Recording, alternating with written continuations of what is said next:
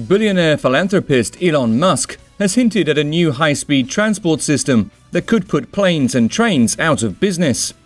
Called the Hyperloop, the new technology would send passengers flying down a tube at 800 miles an hour on a cushion of compressed air. It would cost $6 billion for people only pods, or 10 billion for larger pods, capable of holding both people and cars. The tube would shoot through an elevated structure with pods mounted above the ground on columns 50 to 100 yards apart, or through an underground tunnel. Powered by solar technology, the transport would be cheaper than conventional transportation methods.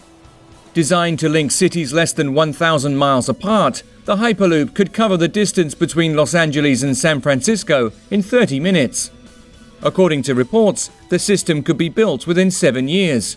A planned high-speed rail link for California, scheduled for 2029, is expected to cost $68 billion. Subscribe now and never watch boring news again.